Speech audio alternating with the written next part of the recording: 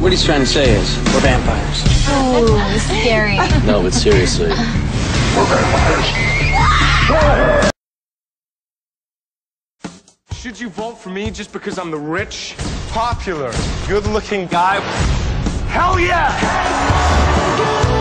My dad always said how much people like you is directly proportional to what you look like, not your thing. What can I say? I'm substance over style. Steer clear of the witch.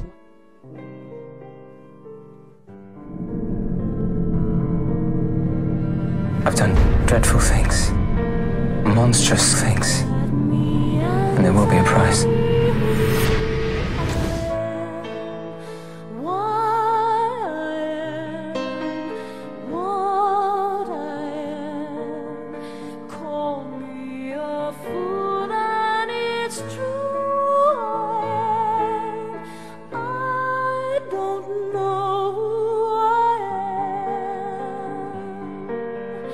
It's such a shame.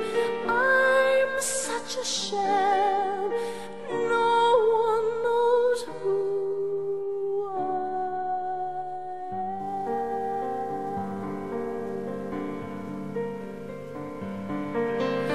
It seems to me we can't get enough of our boogeymen. What's your take on all these rumors we've been hearing about vampires? If vampires existed, don't you think we would have found them by now? People want to be concerned. We should focus in on characters like the sociopath that we've been pursuing. He believes that he is out there slaying monsters. Why can't you just be nice? Because the world isn't nice. You're public enemy number one. You're gonna have to take on the rest of the world too.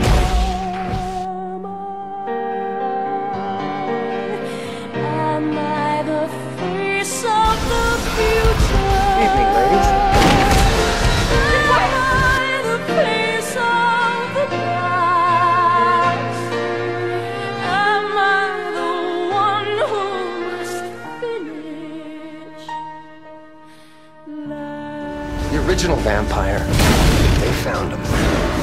He was born perfect. This guy has never had to evolve.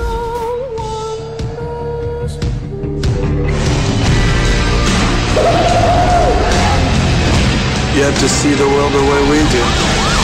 Never grow old. You'll never die. And you'll never know fear again.